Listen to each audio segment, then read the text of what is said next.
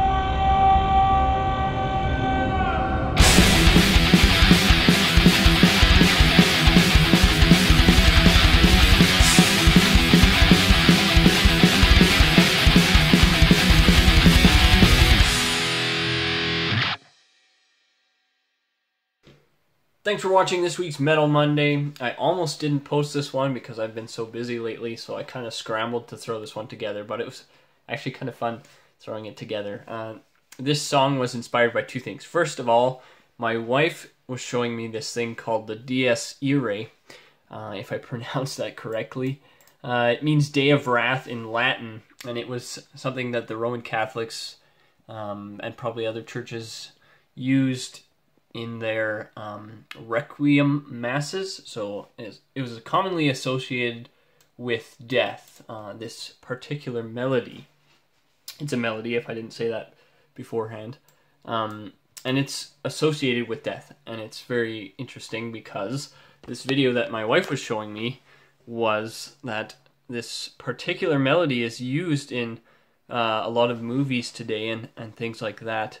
Um, in like uh, dramatic points where the villain comes in or something like that, or the villain dies, um, that D- this Dies Irae is used, Day of Wrath. Interesting, I thought. So I put it into my song a little bit. At least um, this song was inspired by that, and I'll just play this quickly, just so you can hear the basic melody.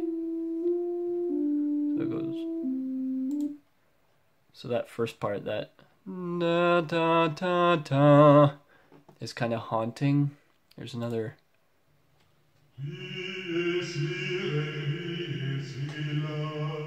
And it keeps going, but that's kind of the. I don't know. It was cool.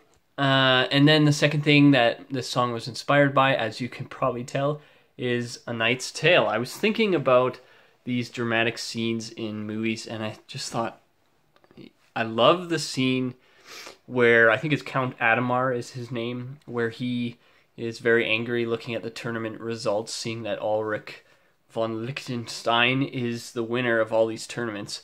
Um, and I love the music in the background.